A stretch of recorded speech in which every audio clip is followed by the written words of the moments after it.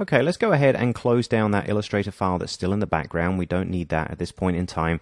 And we'll fit everything in the window so we can see all of our documents. Now we'll go back to the main selection tool just in case and make sure nothing is highlighted. What we want to do now is look at the ways that we can also transform elements using different tools as opposed to the transform dialogues.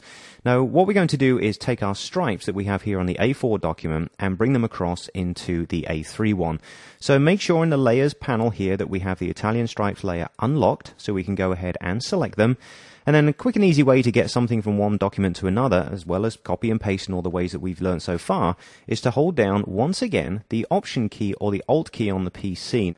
Now, if you haven't already caught on to this, this is probably the most powerful keyboard option in Illustrator. Once we add it to different keyboard shortcuts or different tools, it opens up more and more doors. So I really think this is a great option here. Hold down that Option key and simply select an object drag it to a different location, okay? And I'm going to drag straight across here, holding down that shift key as well to keep it straight, but you'll see that by holding down option, we've created a copy, all right? So much faster than copy and paste, simply option drag.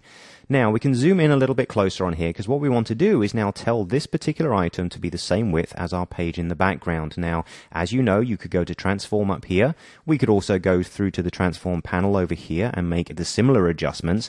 But what we can do is the first option called free transform. There's a free transform tool over here in the tools panel. You can see its keyboard shortcut is E. So go ahead and hit E and you'll see a bounding box appear around the outside of our stripe. So as you can imagine, if we position our cursor over one of these anchor points, I'm going to choose the center one over here and then drag, you'll see that we can increase the width and snap it into our right hand frame there. Okay, so we've now got this to the exact width of our page.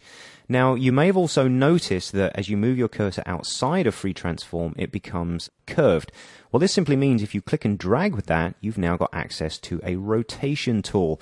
Now, you'll notice it does rotate from the center. That's the default, and we do have a little bit of feedback there, but we're not able to tell it, please rotate by this exact number of degrees, okay? This is very much free transform, okay? You drag, you move, you distort. Those things are manually done and not numerically, okay? So very quick and handy just by hitting the E key there if you do wish to change the scale or something like that.